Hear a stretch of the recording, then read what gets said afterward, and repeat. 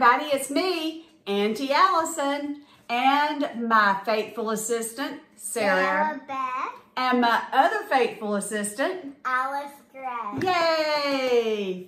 Today we have some really, really fun experiments and STEM projects and STEM activities that we are going to show you that have to do with Easter. Yeah. The first activities we're going to show you have to do with eggs. Now, this one you need to prepare ahead of time. All it is is one egg and vinegar. So you put the egg in there and you pour the vinegar over the top. And it's called the rubber egg experiment. And it's squishy. It's- so the egg is supposed to be squishy. Now, I did take some pictures of it, uh, some video of it yesterday that I'm going to share with you where you can see all the bubbles. And yesterday it looked like the bubbles were coming off in sheets. It was so neat. Look, it's like the bubbles are coming off in layers. Look. That is so neat. Mommy, when can I squish it? This is going to be the coolest experiment When can I squish it? and so fun to watch. When can I squish it? It's not going to be squishy until tomorrow. This is called the rubber egg experiment. Look, look. Okay, Can I So- open it? Can I squish everybody's going to feel it. So we're pulling it out. Oh, and we're going to put it right here. All right. dry it off a? Now, yep, we can dry it off. Let me dry it off, y'all. Okay. My You and then maybe wipe some of this off. And then y'all can touch it and feel it. Show them what it's doing. Yeah, it, ki- it smells kind of bad because it smells like vinegar. You can't squish it too much, or else What do you think will happen if you squish it too much? it'll pop open. You think? You want to try? We will. No, I like it like this. Okay. I like it like it. No, no, that's my squishy. My squish. And here is Sophie. Wait. Okay, so some of it, that just peels off. no. That's just another outer little layer. Yeah. Okay, cool. I'm gonna get it all off, yeah. Okay, let me see it real quick. All right, so Alice Gray is showing you how it is this um, outer white layer is peeling off. So it's going to end up looking translucent. Now I'm going to let her be peeling that off. And while Sarah Beth and I tell you about our crystal egg geodes. All right. Now, our crystal egg geodes, we did three different ones. We did red, yellow, and blue. Now, I'll tell you, we did it yesterday, but we didn't put enough borax in. So I redid it this morning, and already the crystals are growing. Now, if you let them grow 24 to 48 hours, then you will have lots and lots of crystals. All right? So I'm going to scoop this out and show you that the crystals are already forming on the egg. So all I did is I cooked eggs for breakfast. Now, if you don't eat eggs, you can just crack open eggs and throw the inside away. Then clean out the inside. Oh no, it did bust. Oh no, so if you squeeze it too hard, it does bust. Oh, we okay. So anyway, the crystals grow inside the eggs and grow on the outside. Just based on how good this one's doing in only a couple of hours, I can imagine how great it's going to do once it's been in there for a while longer. Now I am going to stick mine back in there and see if any more crystals will grow. All right, these are the egg geodes. They are so cool. Look how beautiful they are and how it sparkles. This one really sparkles. The crystals own it. I mean, this is fascinating to me. So these did better with the smaller opening, but this one's pretty cool because it's really got a lot inside.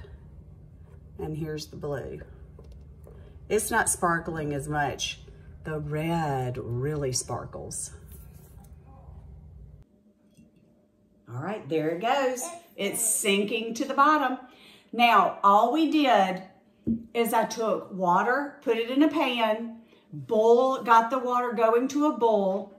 Then I poured in borax. Now, you have to pour borax in until it won't dissolve anymore, okay? Don't just put one or two tablespoons. That's not going to be enough. Keep pouring borax until it won't dissolve anymore.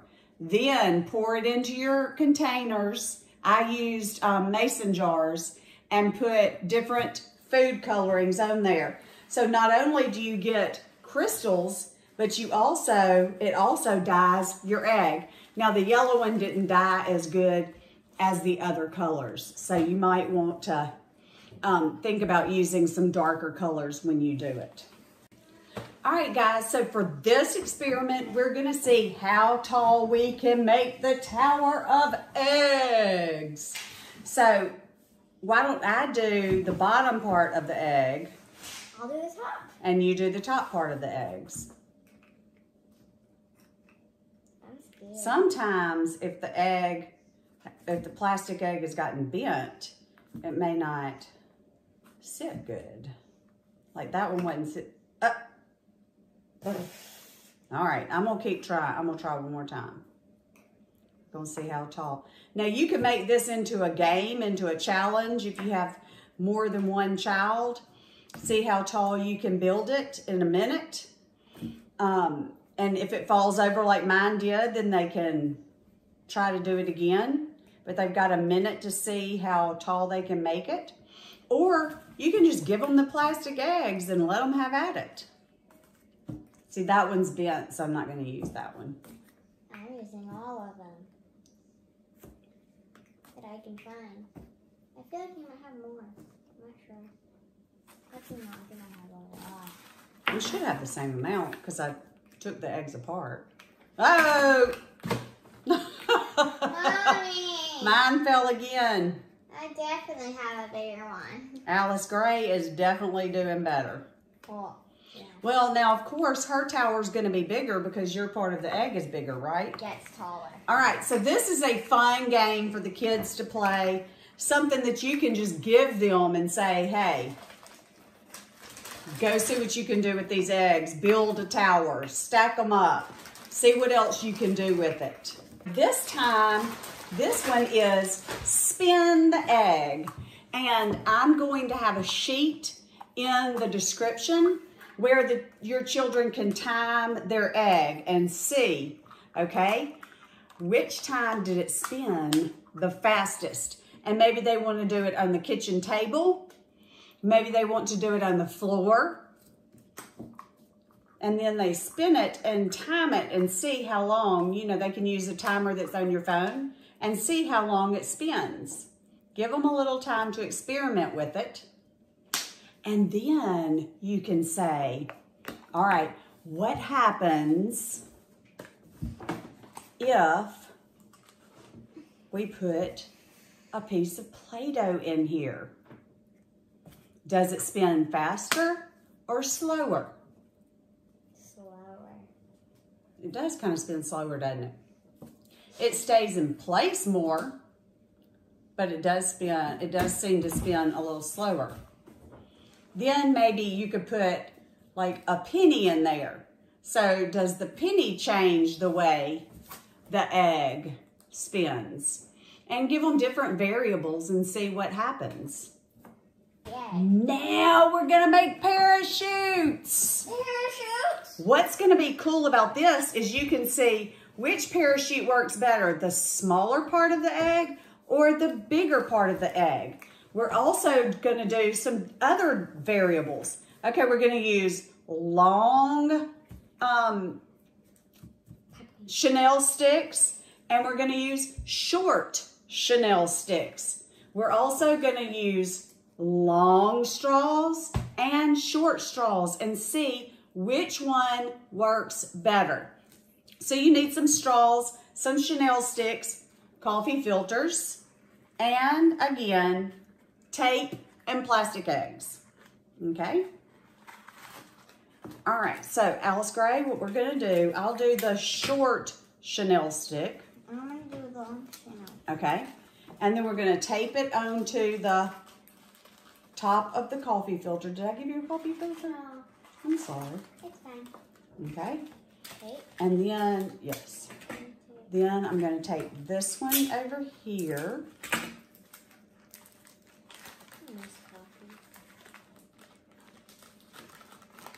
Now, I accidentally had two coffee filters, but I wonder if we can make that a variable. Would it, does it flow slower with two coffee filters versus one? So maybe I should have left that in there. Oh, I have two. Oh, you do? Okay, well, she's got two and I've got one, so we'll see. Which part of the egg are you going to use on that one? This one. The small? Mm-hmm. Okay, I'll use the small too, so we at least have that the same. And these are both chenille sticks, so. Then we're gonna tape this. You could tape it to the outside. I don't think it matters.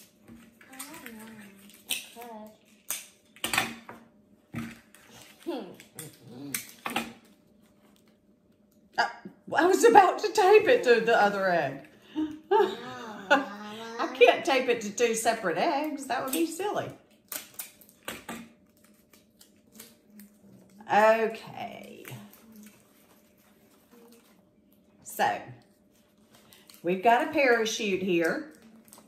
Very cute. And we'll put that one aside. And then we're going to make our one with the straw. Do you want to do short straws or long straws? No. Okay, so she's going to do all long and I'm going to do short. Okay? Taping straws, taping straws, taping straw song. All right, now we're taping straws to the coffee filters.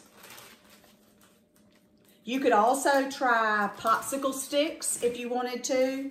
Or you remember those little, um, I don't know if they still come with those cups, the little ice cream scoops. You could try those. When, when I was young and we used to buy the little ice cream, individual ice creams, like um, we buy the Bluebell Oh, chocolate and vanilla, vanilla. It used to come with little wooden spoons. Oh, the outlet has. Or when we, at lunch, in the lunchroom, we Oh, had the little things. Okay, so here's this. It's not quite as flexible as this one, so we'll see what happens. Okay, still haven't done it. And I don't feel like it's even, but do you feel like mine is even? I don't know. I don't think I don't feel like mine's even either. I feel like it's crooked. So adjust it until you're happy.